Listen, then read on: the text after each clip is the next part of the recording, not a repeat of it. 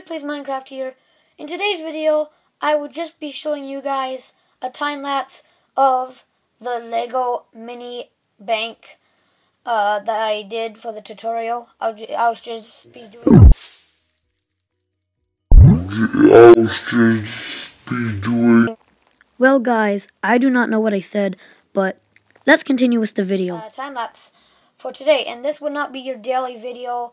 I will have another video because this video is just pretty boring. Um, but I will have a proper daily video coming up for you guys today. This video is just a random little time-lapse video. So yeah, let's get straight into it. And here we go. Begin the time-lapse.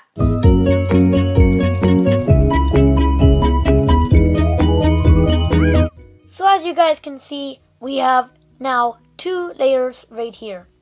Alright guys, so continue the time lapse. So what you want to do next, guys, just before we continue the, the time lapse, what we're going to do is we are going to add on three more layers of bricks around the outside.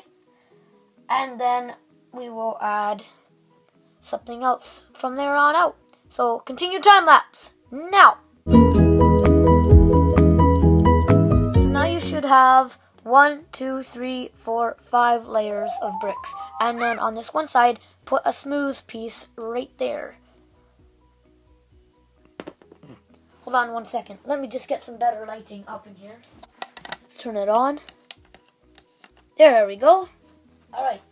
Continue the time lapse.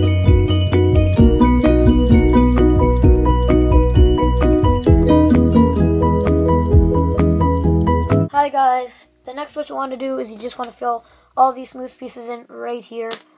And then you'll be finished this part. And then this part you can put in the end here. And that's where you pull in and out the money. So yeah, continue time lapse. So it should look like this when it's finished. And then you can simply put it in there. And voila! 360 view. And it's complete and done. Insert money there. Take out money here. Very simple. So I hope you guys enjoyed that time lapse. Amazing day, and I'll see you all next time. Peace out!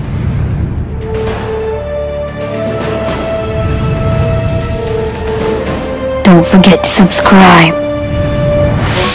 Thank you for watching. Check out my other videos here and here. And make sure to click that circle to check out my YouTube channel.